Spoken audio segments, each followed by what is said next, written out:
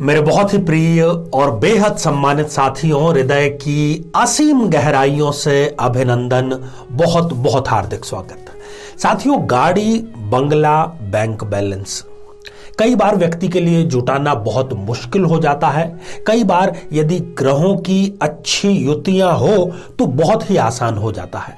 इस श्रृंखला में हम यही चर्चा कर रहे हैं कि आखिर ये तीनों आप कब जुटा पाएँगे। यदि आपके पास में है ये तीनों तो कब आपकी मन माफिक गाड़ी आपके पास में होगी?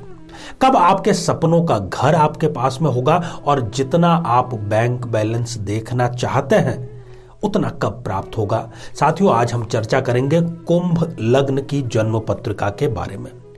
यदि आप अपने लग्न से संबंधित एपिसोड देखने से रह गए हैं तो यहाँ आई बटन में हम उसका लिंक प्रोवाइड करा रहे हैं ताकि जाकर के आप उसको देख सकें और जान सकें। साथियों, कुंभ लग्न पर हम विस्तार से चर्चा करें। इससे पहले एक बेहद ज़रूरी सूचना।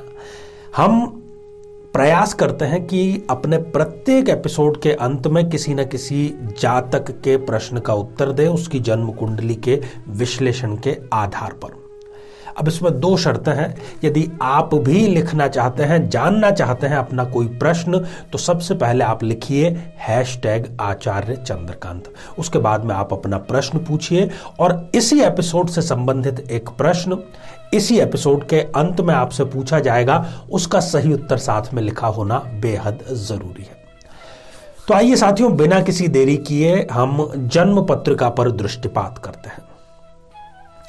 साथियों, ये जो आप स्क्रीन पर एक जन्म पत्रिका देख पा रहे हैं, ये 11 नंबर से प्रारंभ हो रही है। लग्न में 11 नंबर लिखा है, इसलिए हम इसको कहते हैं कि ये है एक कुंभ लग्न की जन्म पत्रिका वैसे तो कुंभ लग्न में जो लग्नेश हैं, वो हैं शनि, जो कि न्यायाधीश का दर्जा प्राप्त करे हुए हैं।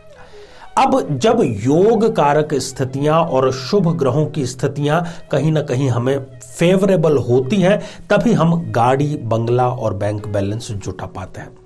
सबसे पहली युति, यदि इस जन्म पत्रिका में मंगल और शुक्र इन दोनों की यदि युति केंद्र में या त्रिकोण में कहीं पर भी अवस्थित हो जाती है तो ऐसा जातक मंगल की दशा अंतरदशा में और शुक्र की दशा अंतरदशा में बेहद धन कमाता है, बेहद ख्याति प्राप्त करता है। उसके पास धन आएगा तो दरवाजे के रास्ते और जाएगा खिड़की के रास्ते। अर्थात, आएगा अधिक मात्रा में और जाएगा कम मात्रा में। कहने का मतलब यह है कि उसके लिए यह दशाएँ महायोग कारक साबित होगी। इनके लिए सबसे बड़ा प्लस पॉइंट यह भी रहता है कि इनका जन्म ही किसी समृद्धशाली परिवार में होता है। ये स्वयं बहुत ही मिलनसार होते हैं, जिससे आप पाँच दस मिनट बात कर लें, उसको अपना मुरीद बना करके ही आप दम लेते हैं। जीवन शैली आपको राजसी ठाठ बाट की ही पसंद आती है, और कृपा सबसे बड़ी यह है कि ये आप सहज ही उपलब्ध भी करवा पाते हैं। साथियों, जो दूसरी युति है, वो है लग्नेश, शनि और शुक्र की युति। शनि और शुक्र दोनों मित्र हैं। यदि केंद्र या त्रिकोण में कहीं पर भी अवस्थित तो हो जाते हैं तो शुक्र और शनि, इन दोनों की दशा अंतर दशा में व्यक्ति को गाड़ी, बंगला और बैंक बैलेंस बेहद आसानी से वो जुटा पाता है। इस युति के कारण व्यक्ति थोड़ा अहंकारी ज़रूर हो जाता है। जहाँ पर बोलना चाहिए, वहाँ नहीं बोलता है। जहाँ ना बोलना हो, वहाँ कई बार वो बोल पड़ते हैं और अहंकार के कारण अपने रिश्तों से इनको हाथ अवश्य धोना पड़ सकता है। चुनावी राजनीति में ये सक्रियता से यदि भाग लेते हैं तो कुछ मार्जिन से हो सकता है कि ये हार जाएँ, परंतु ये अपना जो वर्चस्व है, उसको कायम ज़रूर रखते हैं, अपनी उपस्थिति जो है, उसको दर्ज ज़रूर करा देते हैं। इस युति के कारण ये थोड़े से स्वार्थ यदि कहें तो बिल्कुल भी गलत नहीं होगा। ये हर कार्य में पहले स्वयं का स्वार्थ देखते हैं, फिर उस कार्य की महत्ता के बारे में बात करेंगे। क्रियान्वयन में इनका विश्वास होता है। जैसे ही कोई योजना इनके दिमाग में आती है, ये उसको वास्तविक धरातल पर कैसे लागू करें, इसके पीछे ये लग जाते हैं। साथियों, तीसरी युति है शनि और बुध की युति। यदि ये युति केंद्र या त्रिकोण में कहीं पर भी हो तो शनि और बुध इन दोनों की दशाओं, अंतर दशाओं में गाड़ी, बंगला और बैंक बैलेंस जैसे कि हमने शीर्षक में लिखा है, वो इनको सहज ही उपलब्ध होते हैं। नेतृत्व क्षमता इनकी ज़बरदस्त होती है। संगठन क्षमता इनकी ज़बरदस्त होती है। ये लोगों को साथ में कैसे जोड़ करके चले, ये अपने आप में एक इंस्टीट्यूशन होता है। जितना इनसे सीखा जाए, उतना कम है। फैसले कैसे लें और जल्दी कैसे लें? सही फैसले और जल्दी फैसले, ये भी लोगों को, अपने शिष्यों को, अपने आसपास रहने वाले लोगों को निरंतर सिखाते चले जाते हैं और कभी भी हार नहीं मानते हैं। साथियों, जो अगली स्थिति है, वो है यदि इस जन्म पत्रिका में शुक्र और गुरु दोनों ही स्वग्रही होकर के विराजमान है जहाँ पर गुरु नौ या बारह इन दोनों में से कहीं पर हो, और शुक्र दो या सात, ये अंक जहाँ पर आपको लिखे हुए दिख रहे हैं तो ये हो गए स्वग्रही। यदि शुक्र और गुरु दोनों ही जो कि परम शुभ ग्रह हैं, स्वग्रही होकर के विराजमान हो जाते हैं तो गुरु की दशा अंतरदशा और शुक्र की दशा अंतरदशा इनके लिए गाड़ी, बंगला, बैंक बैलेंस कई सारे लेकर के आती है, एक या दो नहीं।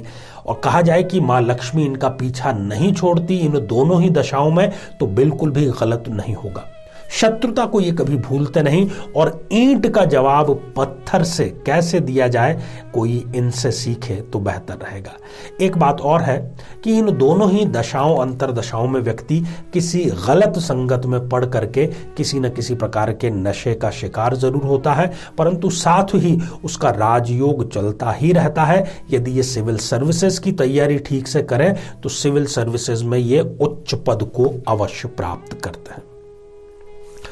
साथियों, पांचवी और अंतिम स्थिति है गुरु और शुक्र का आपस में राशि परिवर्तन।